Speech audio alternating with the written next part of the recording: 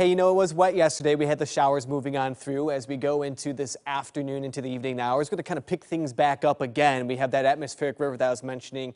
That's going to be moving on in as we go into uh, this evening, more so tonight. Here's a look at Vancouver, the low clouds in place. Very similar scene to what we were just looking at out the KOIN tower, too, of course, right across the river here. 50 degrees for Vancouver, east southeast breeze coming in 7 miles per hour. Hope you had a wonderful weekend. Again, we had a little sliver of blue sky early on Saturday, and then it kind of just turned gray from that point on. Hopefully we can work a little more sunshine in this week, but it sure looks like it's going to be pretty overcast.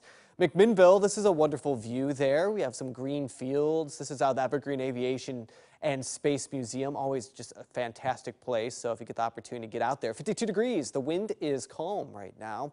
There's some very light rain trying to work through areas of Portland, Beaverton, and Lake Oswego here. Uh, this is not going to be that main event in the moisture from the atmospheric river that's moving on in.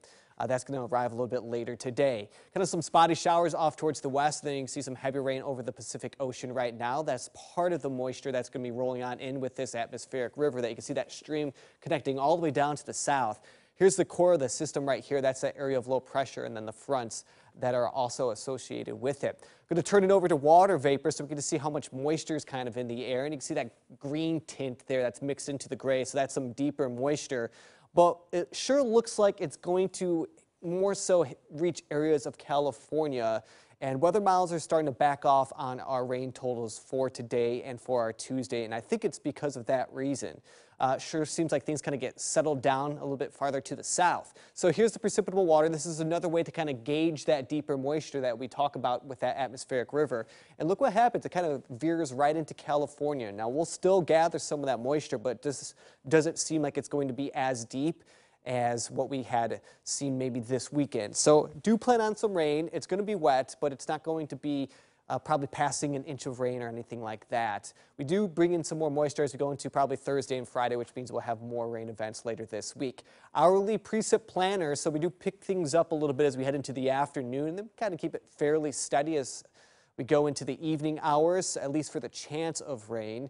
We are going to pull in some warmer air out of the southwest here, so that's going to warm things up, especially for southwest Oregon and south central Oregon. But we get into late Tuesday night and into Wednesday, we bring in some cooler air, which will lower the snow levels once again, allowing for uh, maybe some snowfall for the mountains below the passes. So you can see that right here, that line dips below government camp on Tuesday afternoon into Wednesday morning and into Wednesday afternoon before it jumps right back on up on Thursday when we get some more moisture.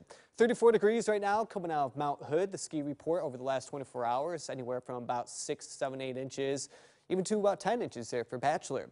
As we go through the rest of the day, you can see that moisture moving on in. Heavy rain down to the southwest, but yeah, pretty much the whole Willamette Valley will be seeing some shower activity from about 7 to about midnight or so. And then it really becomes fractured and broken as we go through our Tuesday um, not as uh, put together, we could say. And so we'll just see some scattered showers. Wednesday looks to be mainly dry before we have another event arrive on St. Patrick's Day, probably in the second part of the day, but Thursday doesn't look all that wet. It's going to be more so on Friday when we get more rain arriving as we head into the afternoon, evening hours.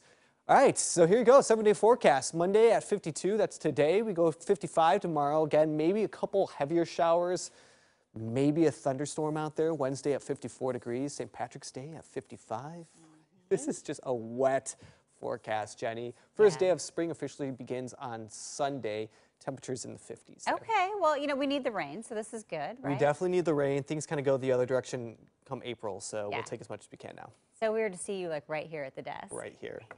And it's a whole new world. Hopefully it stays this way. Yeah, All right. True. We'll be right back with more news and a final check on the forecast.